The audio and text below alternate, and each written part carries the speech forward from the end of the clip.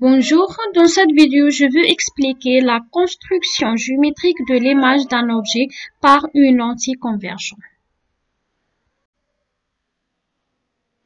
Avant d'entrer à notre cours, je veux rappeler la dernière leçon sur la lentille mince.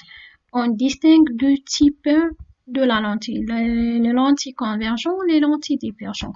les lentilles convergentes, les lentilles débordent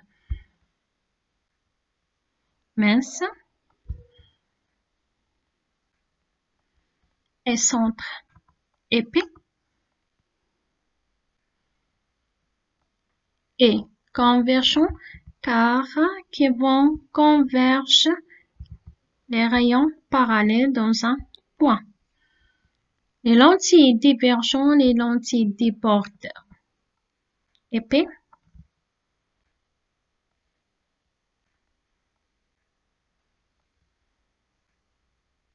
centre mince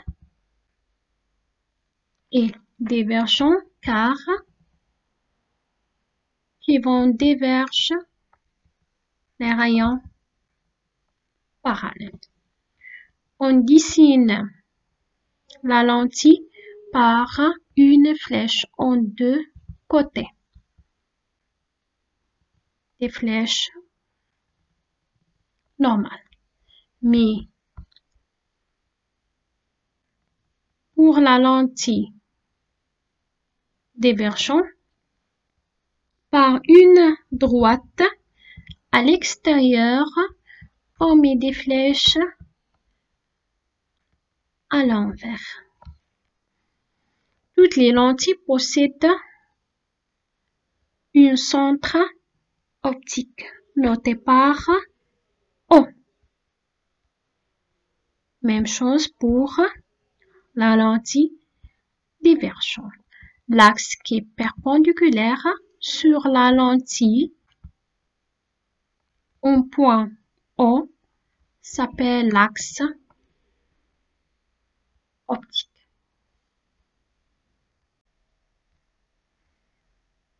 Alors, la lentille convergente des bords minces et centre épais qui vont converger les rayons parallèles dans un point bien défini s'appelle le foyer d'image, noté par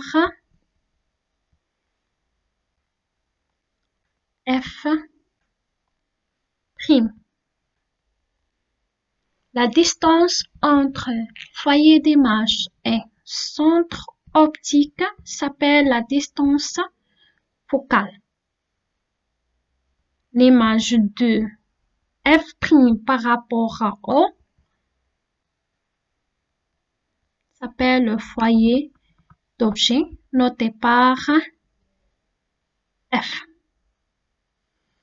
L'unité de la distance focale dans un système, dans le système international, en mètres. Donc, F, la distance focale, est égale à distance OF en mètres est égale à la distance OF prime.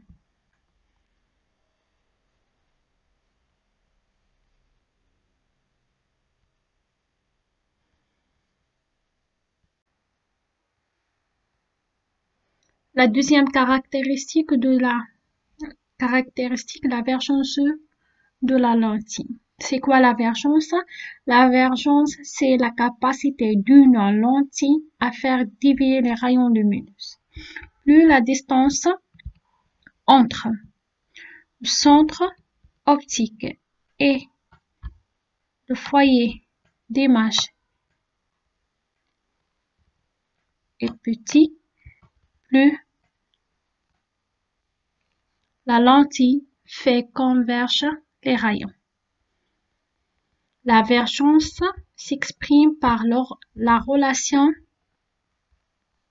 C est égal à 1 sur F avec F la distance vocale en mètres.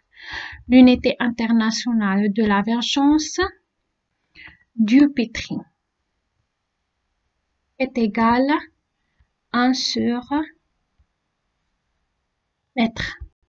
Alors, on va commencer notre cours.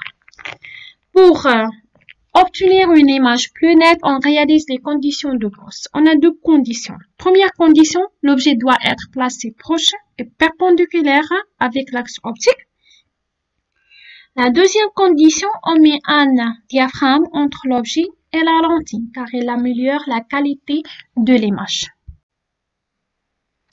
Pour construire l'image d'un objet, on a trois rayons particuliers. Premier rayon, tout rayon passant par le centre optique n'est pas dévié.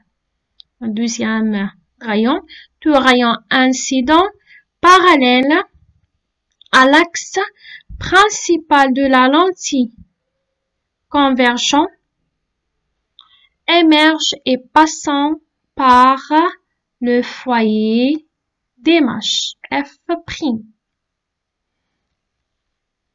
La troisième, tout rayon incident passant par le foyer d'objet émerge parallèle à l'axe optique.